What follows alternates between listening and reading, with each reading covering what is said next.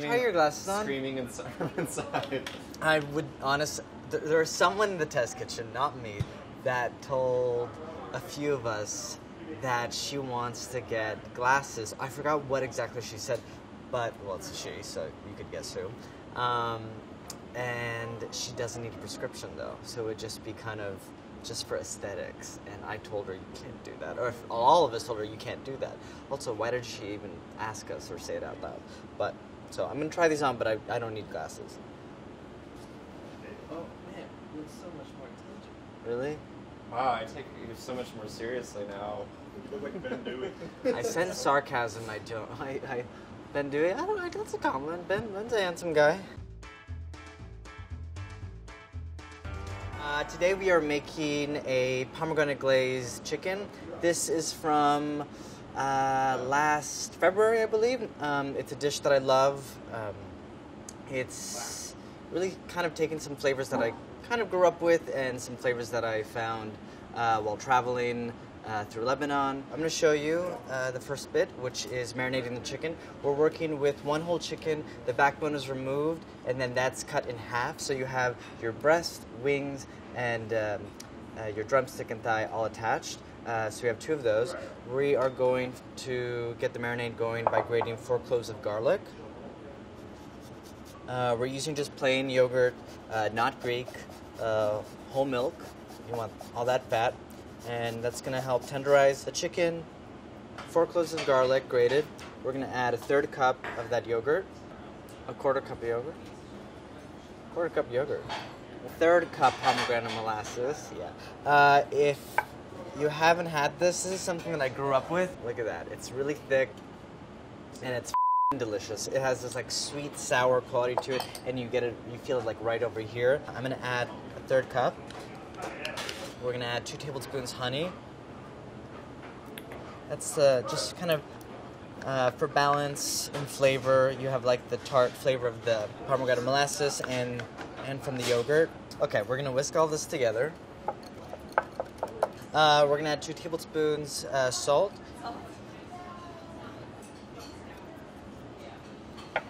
It seems like a lot of salt, but you need it for this. Okay, we're gonna add the marinated to just a resealable plastic bag.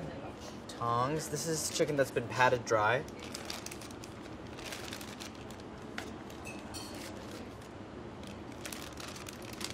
I always kind of marinate my meat in these kind of bags. They're just really easy, no mess. Once it completely pop and just go all over me. Okay, I would marinate uh, at least 12 hours. Uh, you can go even longer. Uh, that would even be better. A day, two days, um, chilled. And then uh, I would toss it halfway through just so you make sure everything is getting marinated evenly. Okay, back to the chicken. We are gonna remove this chicken. It's been sitting out for about an hour. Uh, you could even go a little bit longer. You just want to kind of get it to temp. Um, actually, first you're gonna drizzle the cast iron with a bit of uh, oil. I'm just using plain plain oil, vegetable oil over here. Pull that bird out. If you don't have a skillet, you could cook it on a baking sheet. Sure, why not? Amazing. Um, now I'm gonna pat this dry, just the top part, the skin. We are going to mix uh, the remaining two tablespoons honey and two tablespoons pomegranate molasses. Uh, this is just to uh, brush the chicken with on top. Okay, you're gonna brush this um, this mixture over the chicken. Oh, whoops! I forgot. I f***ed up. I'm gonna sprinkle the very top with a bit of salt. I'm gonna get rid of this, so don't come at me with my chicken hands. What did you think about that uh, quiz, test kitchen quiz? I heard that it's very difficult to get Andy, which I don't know.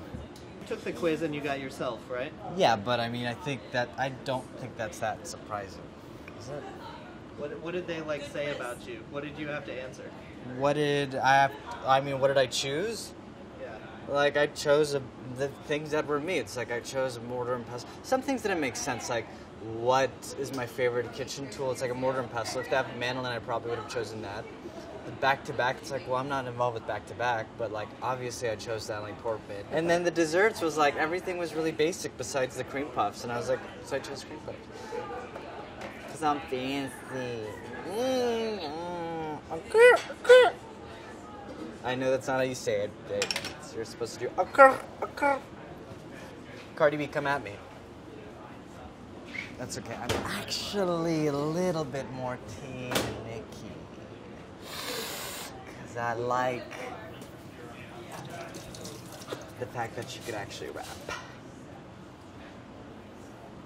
That's gonna that's gonna start some controversy. Cardi B, she can put out you know a bop. She is so much fun. She's so funny, but like she doesn't spit like Nicki, and she doesn't write her. Own.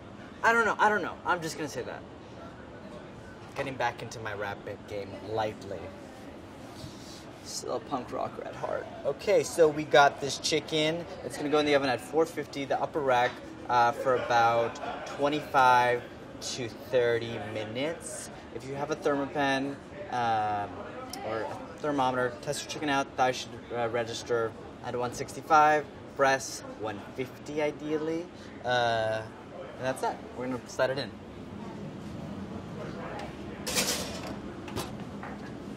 Looks great. So here's our chicken. You see how it's got kind of that mahogany color, really nice darkened spots, that lacquered effect from the honey and molasses. We're gonna just let that sit for a good 20 minutes before we carve into that. Um, while that's resting, I am going to toast some pine nuts. So I have two tablespoons butter, unsalted butter. I'm gonna put it in a small skillet, let that melt over medium. A lot of our recipes we toast nuts, seeds, uh, in dry skillets, uh, either on the stovetop or on the oven. With this, I am toasting the pine nuts in fat in the form of butter. Uh, I do this a lot. I'll cook nuts, uh, seeds in oil. Uh, I do that because not only are you toasting uh, the pine nuts, but in this in this way you're also getting this kind of pine nutty infused butter, which is great. So we're gonna use that as kind of a almost a garnish, like a crunchy garnish to go over the chicken. Also, back to Nicki, like I love her, and I and I, I like Cardi B too, but not I don't even know how we're even comparing these women, but I love Mariah Carey more than all both of them. And she just dropped an album called Caution. Go get it. Oh, if she if she she would never contact me. Imagine Mariah Carey like like this, or just like I, I would I would die. I would go nuts. Viewers, make that happen for me. I would go nuts if Mariah Carey even said anything about this. I love her so much. The album is perfection, Mimi. You are amazing. Love you. Okay, we're gonna add a quarter cup pine nuts. We're gonna toast this. See, it gets really nice and foamy. The pine nuts are releasing their oils. Get flashback to that oil fire. I don't know what you're talking about. I don't make mistakes in life. What oil fire? You scared? I'm scared, actually. That's too much oil. Okay, the pine nuts have been going. We're gonna pour that in a bowl. And right now, you kind of have this almost, almost brown butter, brown pine nut situation. We're gonna salt this just as you would um, if you toasted nuts on their own. So you got this nice brown butter and pine nuts. So pretty, right? Amazing, fantastic, incredible life, people, angels, seventh heaven. I never watched that show. Uh, I am having one lime, and we have one and a half cups of pomegranate juice. I have to say, looking back at this recipe, this is a lot of juice. You do not need to use as much juice. I just happen to really love it. Uh, but if you want to use less, go ahead and use less. So we have one and a half cups of pomegranate juice. I'm going to squeeze the juice from both limes. And I'm doing this only because a lot of the pomegranate juice you buy tends to be just a touch too sweet for my liking. Uh, but if it's not too sweet for you guys, then leave it as is. I'm gonna season it with a bit of salt. I like it to have just a bit of salt, and it may sound weird, but it actually makes the juice pop. I'm gonna give this a taste.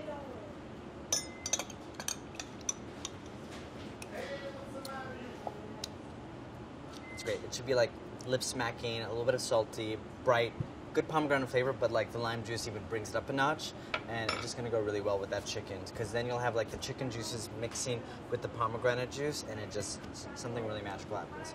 I am going to transfer one chicken.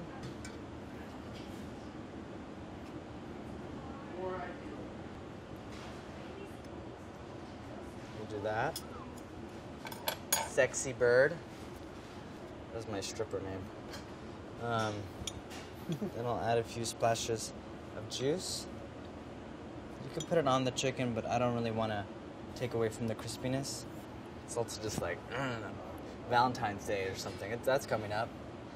Red, red chicken.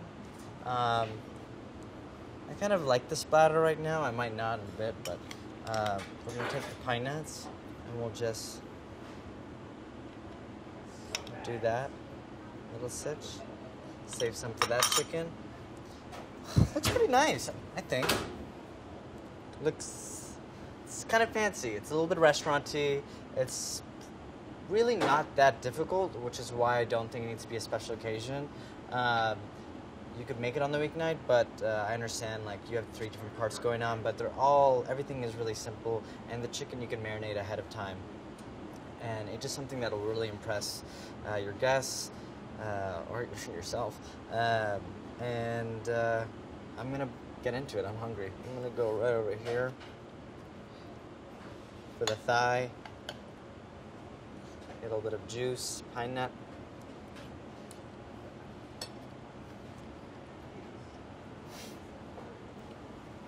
It's pretty good. What's, what am I supposed to say? It's like, it's so good. It's like, yeah, I developed it. I made it. Like, it's, it's good. Like, humility goes a long way in life. I'm just saying, I didn't say that I have humility. I'm just saying humility goes far in life. I'm gonna take one more bite. I hope you guys make this dish. Uh, make photos, tag me in them, DM me. It's I promise you, it's gonna become one of those chicken dishes that you're gonna fall in love with, and it's uh, gonna become part of your repertoire. Wait, what is bay nectar? Bassnectar. Bass oh, they're nectar. like uh, they're like one of those like dubstep like it sounds like God. a sounds like a speaker being dropped into a blender. My mind went bay snacker, so it's like a- snackers? A, bay who snacks. I don't know. Someone from like- the bay, yeah. Or someone from the bay. No, but no, a bay snacker. Oh, we got chicken in the oven. So